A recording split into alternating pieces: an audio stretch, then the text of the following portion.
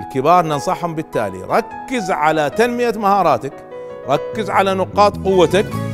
أما نقاط ضعفك لا تحاول تعالجها لا تقضي فيها وقت لا تتعب عليها وإنما ابحث عن شخص أو جهة أقوياء في نقاط ضعفك.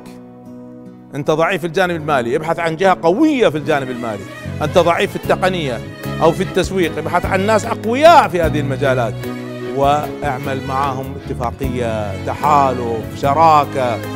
ففكر بعقلية الفريق المتكامل وليس الشخص المتكامل.